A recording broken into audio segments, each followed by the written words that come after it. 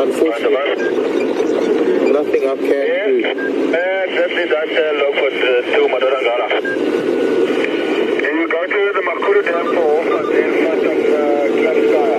Uh, on the eastern side, there's a spike top ticket. They were forgotten that uh, ticket run out. There's the pole. Alright, got it. Uh, Matimba's on Hoffman. Sorry. Well, we can't go any further south from this. There's a really pretty mare. It's got some incredible shadow striping. Uh, And from near every kill is Bala that I see is Madonna Mala. Uh, all of it's Madonna's now. All of that, all the kills that I see is Madonna, Madonna, Madonna. Easy now, that's right. Uh, it's not a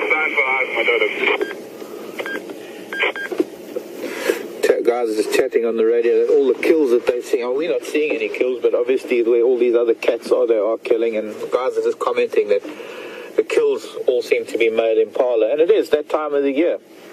The male impalas are so busy rutting that don't, they don't, On my way there, just bump to the yeah, I Sorry. west of oh, that's where that big herd of elephant have gone that I wanted to look for. Also down south. It seems that other guys around the reserve are not having as much of a hard time as we are. They found them at timbers. There was some chat about, I don't know, some uh, incident with those Matimbas, but I couldn't catch it and nobody was caught. The thing is that I'm picking up up another channel because it's on scans. I can't talk to them. I can only hear them. And I was hoping I could do that with the Arathusa radio, but unfortunately, it's not going to happen unless they're just not chatting on the Arathusa channel. But there's something very special here on the open airstrip of Arathusa. Something we saw briefly and, uh, and it was the first time we ever had it on camera. And so this is going to be the second time, I think, we're going to have it on camera. And this time it is on Arathusa, not making its way south off of the airstrip just yet. We might get to actually see it hunting a little bit. It's going to be very interesting.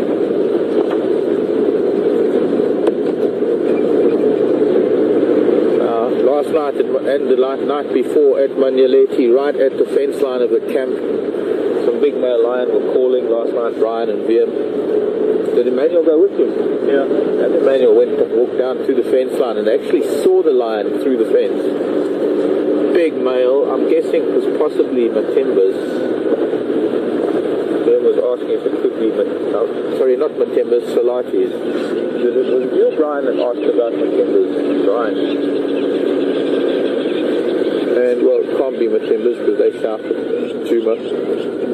And I don't think they'd make their way all that way up to Manyeleti main camp. Lovers are complaining. But this other character was here somewhere.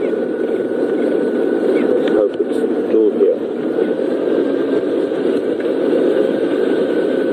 I'm sure it was in line with these Impala.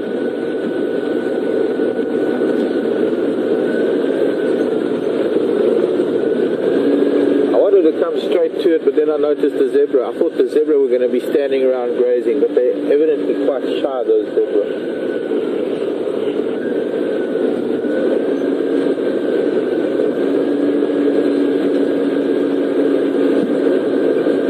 Strange.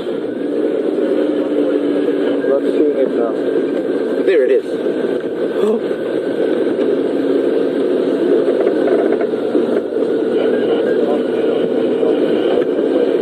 I just want to get to a spot where we'll be able to see it without it going behind bushes, to be able to watch it for a little bit. And I want to send the question out there to you, the viewer, wherever you may be. Who do you think this is?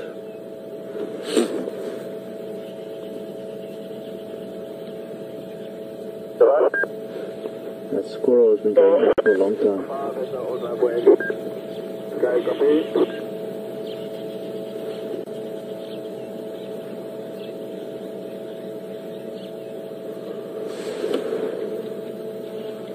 Raising its crest.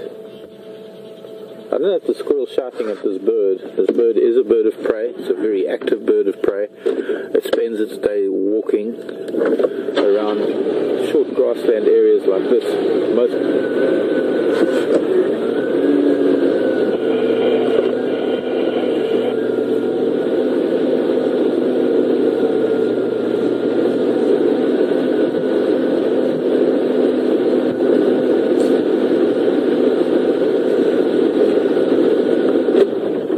Just getting a message from Final Control that there was an update from Arathusa Guides a little while ago saying that the secretary bird killed a scrub hare some time ago and a tawny eagle tried to steal it from the secretary bird.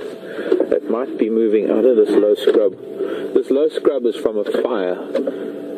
Bush willows, guarries, brownleaf teak, and all the crowns of these trees were burnt off and now they're recoppicing into low bushes and it's starting to open up a bit, so we should be able to see it a little bit better. It reminds me of a video that I saw a couple of months ago of some ground hornbills chasing a scrub hare down a road in Kruger Park and literally running after the scrub hare to a point where they almost got it and just out of the blue a tawny eagle came out of the air and snatched it off of the road in front of the in front of the, the hornbills. If we spent enough time with the secretary bird, we'd probably see it catching a lizard or a snake or, oh, even a scrub hare.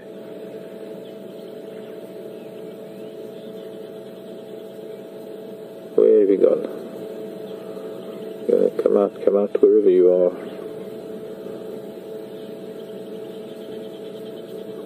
Quite a remarkable bird. Enormous wingspan. They soar at very, very high altitudes when they're going from one area to another. Generally nesting in a flat crowned tree, like the flat crowned acacias that we get the umbrella thorn bird. Enormous wingspan. They soar at very, very high altitudes when they're going from one area to another. Generally nesting in a flat crowned tree, like the flat crowned acacias that we get the umbrella thorn. A very, very large nest. It's quite interesting when you have secretary bird's nest to see all the remains of different prey items that you find underneath the nest. I found, I think it was up to eight baby tortoises once, where they must have found uh, uh, tortoise eggs hatching, and they must have just systematically wiped out almost all the tortoises. Look, some warthog. Hello, pigs. This little piggy went to market. This little piggy stayed at home. This little piggy had short grass. This little piggy had none. Hello, warthogs. Sorry if we're not really going to be. See, now the secretary bird has stopped because we changed camera angles.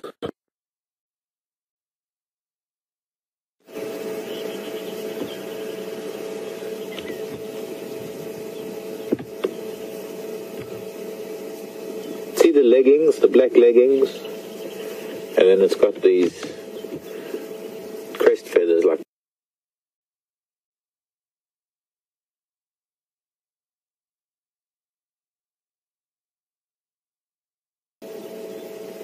That allow the secretary bird to actually stomp its prey to death. One of the interesting things about them too is that they're very, very aware of, of opportunities for hunting, and quite often when there are bushfires, you'll see secretary birds walking through the still smouldering ashes, picking up scorched creatures or creatures that have escaped the fire.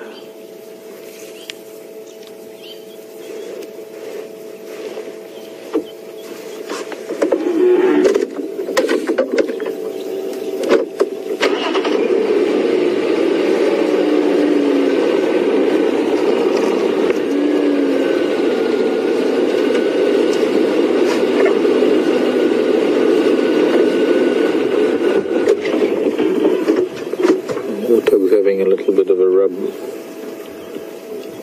It was.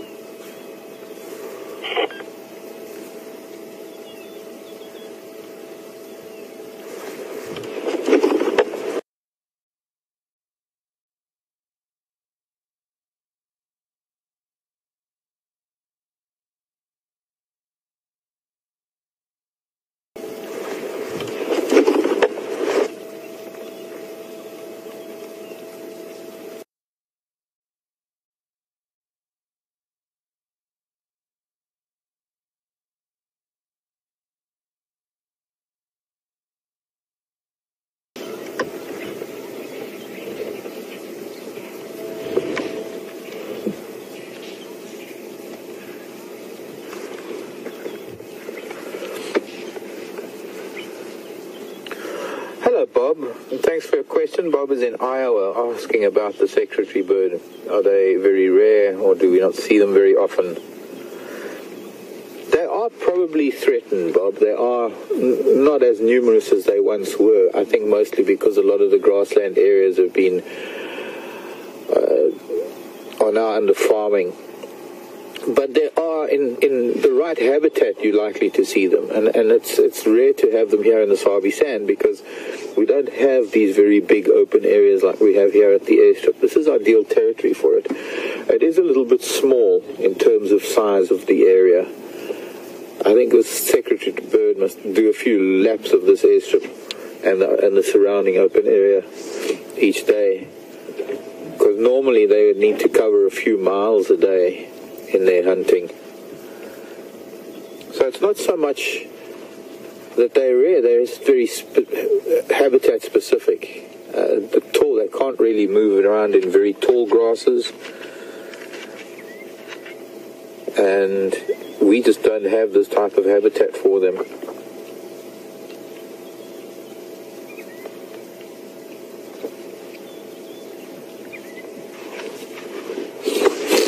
Let's see if we can get a little closer to it again. I'd like to stay with it for a little while, since it is a rather rare sighting. Uh, we might have it here every day for the next while, going through the dry season. There's no telling of how long it will stay, and there's also no telling whether we're going to see it again. So I think the opportunity to, in any case, this central road is where it's heading now. It's the road I wanted to go on anyway might get to see it in action. A lot of starlings around it.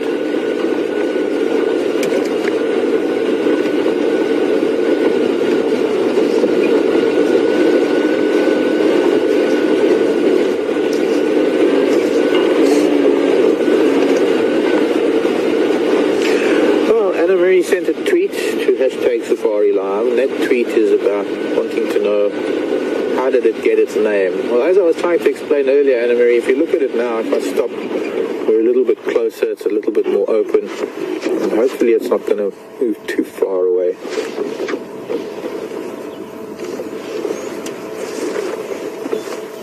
It was named a long time ago, and I think the, the, the, the those feathered legs down to the ankle that you can see would look like black leggings, and the grey the grey waistcoat, and then of course it's got these nape feathers. The feathers that sometimes you'll see it raise those crest feathers, but they, I suppose, were like the pencil behind the secretary's ear. Yeah, the change for me, please. It's all I can think of is one of the reasons why it was called the secretary bird. Its scientific name is Sagittarius. Sagittarius serpentarius, a raptor. Go west. A unique family of birds known as the Sagittariidae. It's the only one in the family. Here come the plovers. Look at that. They must have a nest nearby. And they are now mobbing it. Try and get a bit closer.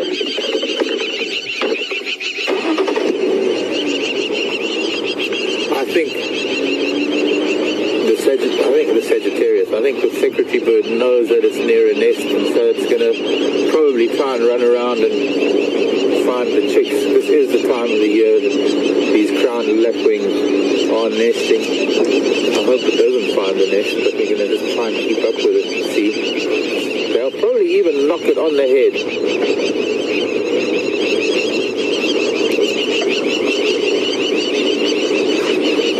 I'm to go too much further just in case the nest is here somewhere. Because we'll be able to go back onto the airstrip road.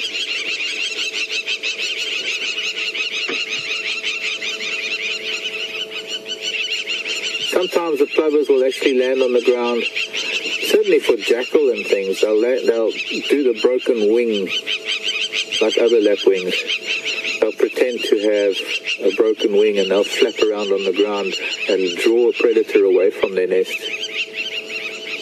But here, I think they're just, as long as they're bombarding it, what we call mobbing it, the bird can't really hunt and it'll either, if it can't find anything to eat within close to their nest, maybe the chicks or the eggs, it'll most likely just keep moving away from them. I'm going to just go back around on the road.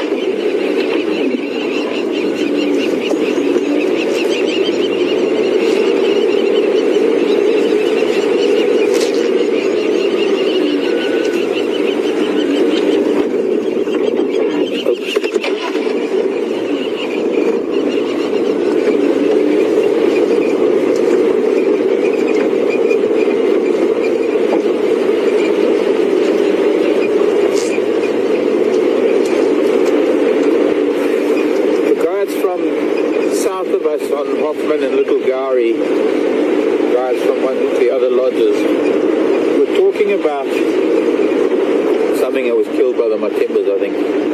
I don't know if they were talking about Luma male, but evidently something was found dead this morning. Oh, that looks like leopard track, leopard dung.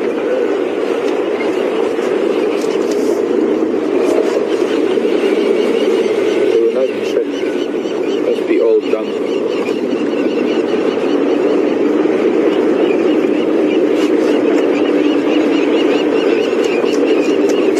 Carol wants to know if the secretary bird flies. Yes, it does, Carol. They fly from their nests to their feeding grounds. They, their nests would be usually on the edges of an open area the, in, trees, a flat crowned tree generally. Um, even a small tree like this little round one on the left going past, they would flatten the top of that, put a, lot of sticks in there, low to the ground. It would normally be a lot higher than that. But yes, they do fly a very big wingspan. They soar at extremely high altitude, sometimes up to 5,000 feet.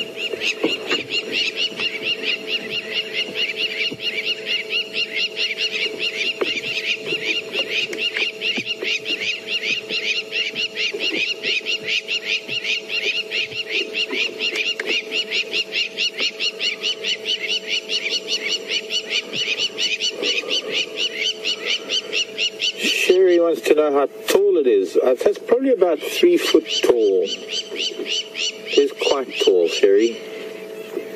For a, for a bird, it's a little bit shorter than a bustard. I'll see if I can find a, a size for you in the bird book. If it's not in the bird book, it'll be in my raptor book. What I can also do is show you a picture in the bird book.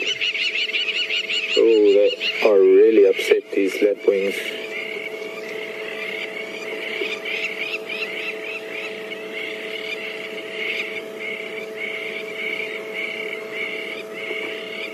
One point four meters. So that is one and a half meters, three and a half, nearly four feet tall. Let's go forward.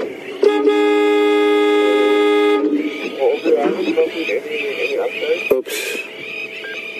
I pressed the wrong button and now the alarm system is it's all good. I've done that before. And I'm doing too many things at once. Uh, just under one and a half meters, 1.4 meters, 140 centimeters. Uh, do a quick conversion to inches. Um, one meter is about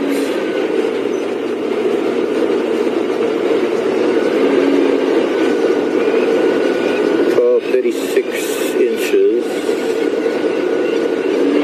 So 48, 50, 55 inches maybe.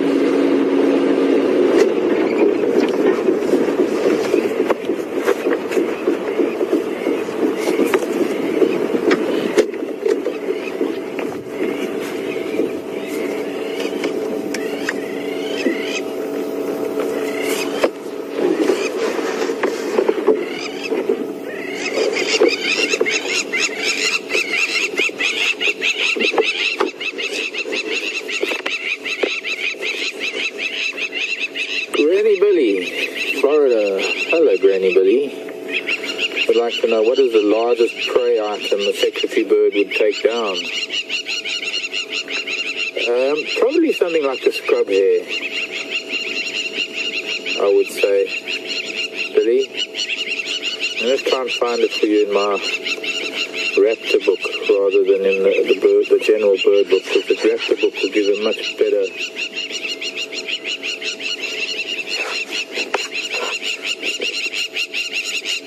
Page 26, much better view of it.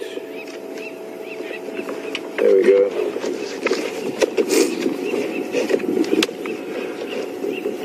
Crested, or rather, there's the crown crowned lapwings.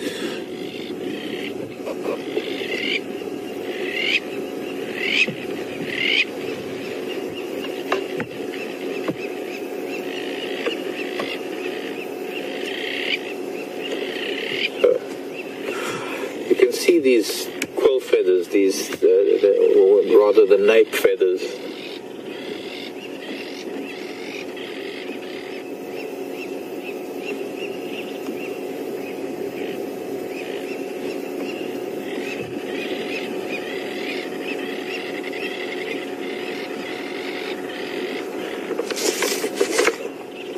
And yeah, that's uh, not much I can more I can tell you. I mean, it, it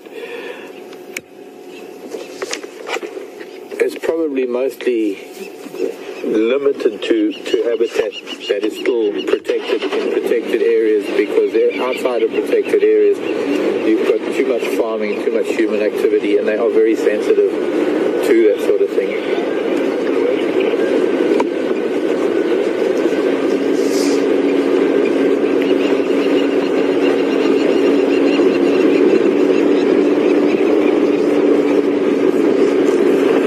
Liz in Wisconsin wants to know if this is larger than the North American wild turkey. I've never seen the wild turkey. I imagine the, the turkey is bigger in body, but I would think that maybe the secretary bird stands a lot taller than the wild turkey.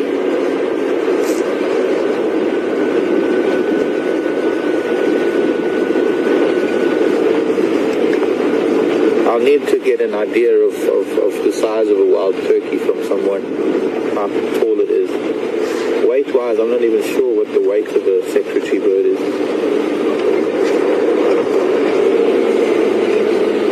It's starting to run, I don't want to push it.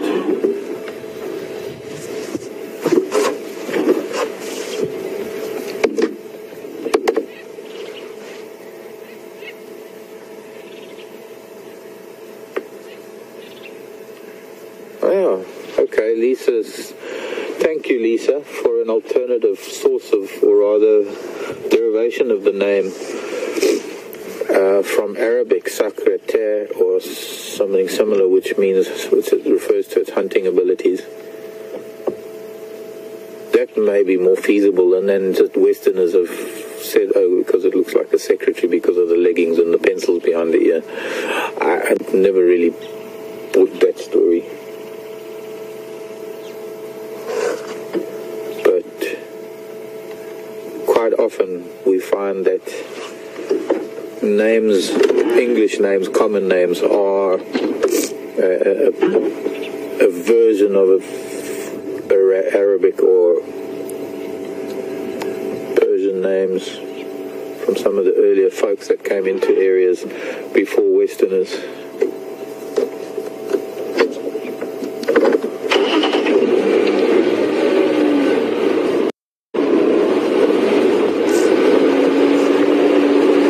It's not going to have much luck with reptiles today because it's a little bit overcast. There wouldn't be many reptiles out in this type of weather unless it clears up a little bit, starts warming up.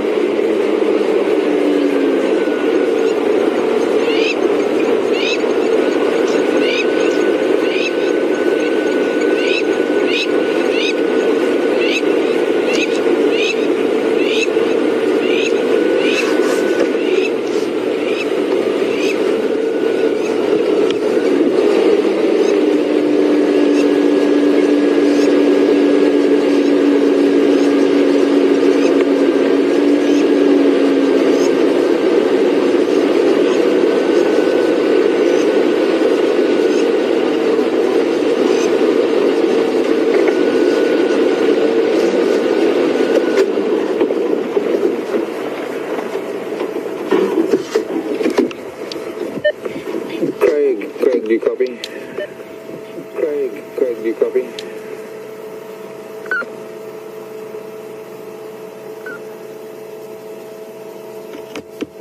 I think at this stage it's time to leave it and move on. That was a rather exciting thing to see out here. That was a rather exciting thing to see out here.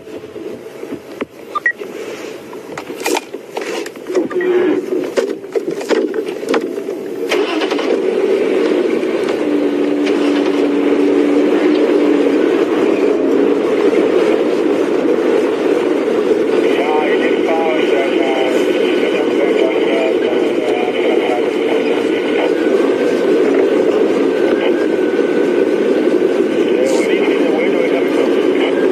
Judy, morning, Judy. I didn't really. I, I was talking about the We don't know where the Kahumas are, some talk. Unfortunately, this radio is very difficult to, to, to listen to. It's digital and it's, it kind of distorts the voices a lot.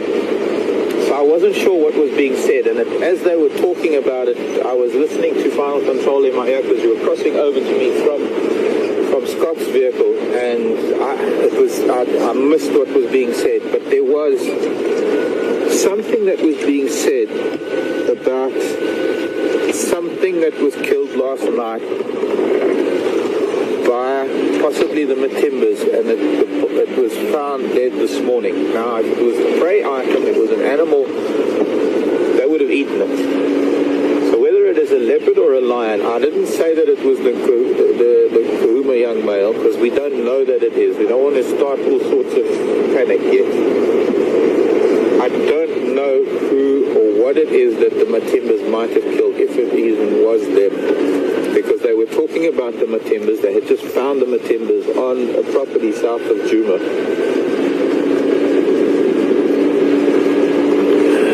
And I need to either find somebody here on Arathusa that might put there's a crested barbet.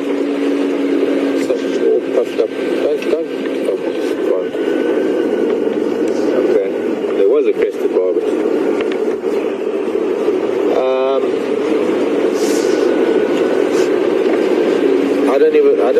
somehow we'll have to try and get hold of some of the guys on one of the other lodges and somehow maybe find out what was going on. But it's not easy to do.